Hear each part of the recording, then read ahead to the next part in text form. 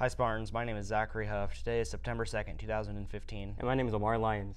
In recent news, on Bear Grylls' TV show Running Wild, President Obama will be testing his wilderness skills with Bear Grylls. The TV show will test Obama's skills within the Alaskan wilderness for three days. Sounds very exciting. When does it air? The episode will air later this year on NBC and is said to air on a Monday. In other news, unfortunately, there was a shooting that involved a cameraman and a reporter. A few days ago, on August 26 in Virginia, a shooter shot reporter Alison Parker and, and cameraman Adam Moore during a live broadcast on Roanoke. After the shooter then shot himself and took his own life. Our hearts go out to the families. Google has made a robot that can get through the forest. Wow, that looks so cool. Yeah, it does. I really want one. Same. Well, Spartans, that's all we have for today. Bye, Spartans.